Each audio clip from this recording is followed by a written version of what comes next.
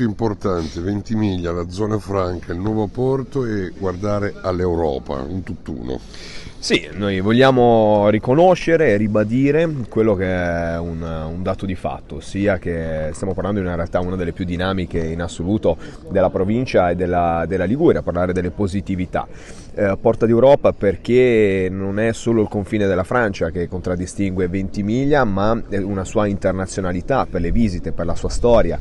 per, eh, per il futuro che, che ci aspetta. Quindi insomma abbiamo trovato un grande sostegno, un grande appoggio da parte della Confcommercio e della Confesercenti